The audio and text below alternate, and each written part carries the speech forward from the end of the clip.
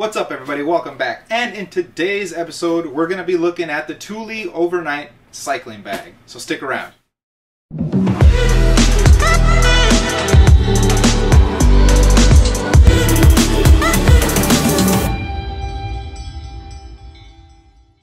Alright, we're going to be doing just a quick overview on this bag.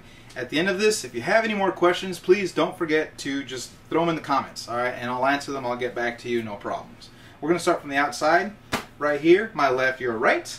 And if we open this up, it's actually a tarp-lined pouch that holds your shoes and shoes. That is my one complaint about this bag, and probably my only complaint, is that this um, bag for the shoes is smaller. I wear a size 10, so getting that in and out can be a bit shoresome sometimes. But I'll tell you what, having a place just to put your shoes that's not with the rest of your stuff or in the back of your car where you could potentially forget it is just great. So I'll take it where I can take it. It's a good compromise. And if we move up to the front, this big pouch in the front right here is actually my favorite part of this whole bag.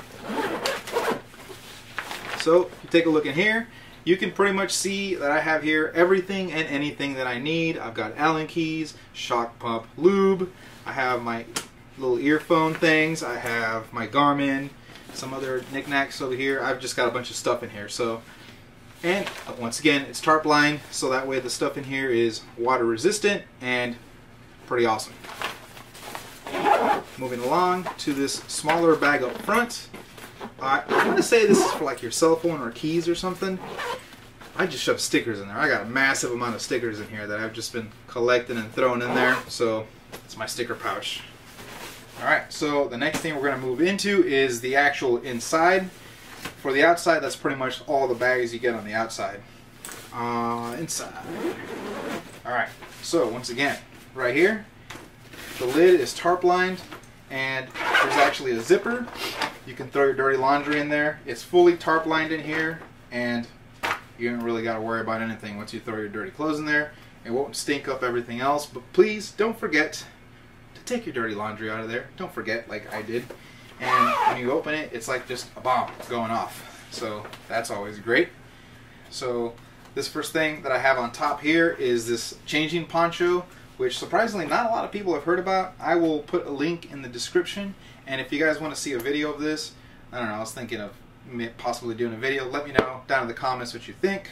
I also have my waist pack in here. I always make sure to empty it out, so the only thing in here are my necessities that I take with me on the trail. Then I just fill it with water, a couple of snacks, and I'm ready to go.